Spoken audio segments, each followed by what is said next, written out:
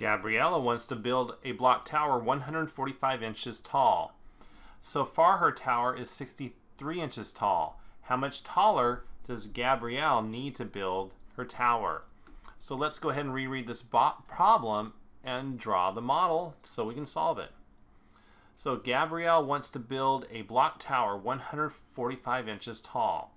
So we'll pretend like this is how tall she wants her tower to be, which is 145 inches. So far her tower is 63 inches tall. So this is, so the length of her tower so far is 63 inches. So we'll pretend like this amount right here is the 63 inches. How much taller does Gabrielle need to build her tower?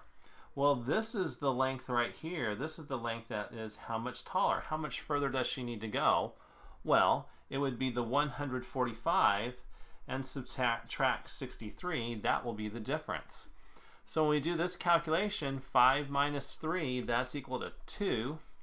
And now when we look at 14 minus 6, right here we're basically looking at 14 minus 6. 14 minus 6, that's going to be equal to 8.